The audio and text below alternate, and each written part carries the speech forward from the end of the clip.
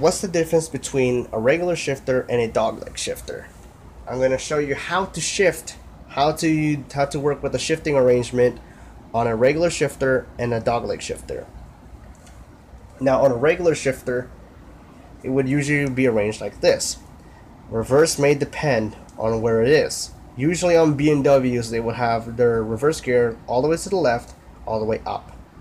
Some cars like the Vipers, they will have the reverse gear all the way to the right, then up. In other cars, most cars, they will have the reverse gear all the way down. Now I'm going to be showing you how to shift on a regular shifter. Your neutral position is right here. To go from neutral to first, you go left, then up. To go from first to second, you go straight down. To go from second to third, up, right, then up. You're in third gear. Now to go from third gear to fourth, you just go straight down. Now to go from fourth to fifth, you go up, right, then up again. You're in fifth gear. And if your car has a six-speed manual, to go from fifth to sixth, you go straight down. That's how you shift on a regular shifter. On dogleg shifters, the arrangement is a lot different. What that means is, first gear is now left then down instead of left and then up. That's reverse gear.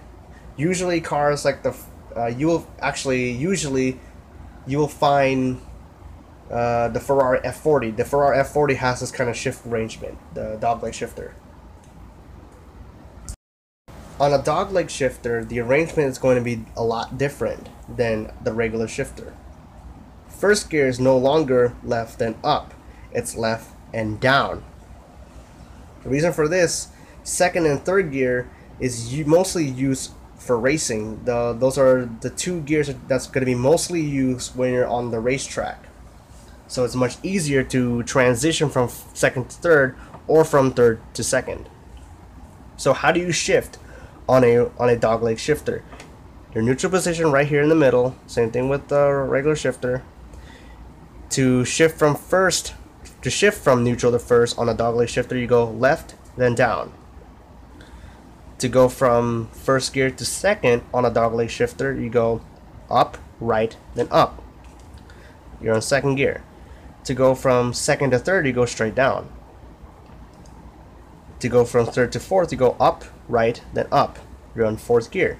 Not to go from fourth to fifth, you go all straight down. That's how you shift on a dogleg shifter. So think about it. Think about a dogleg shifter as a six-speed manual without the first gear. So pretend you don't have six gear. You pretend you don't have a first gear at all.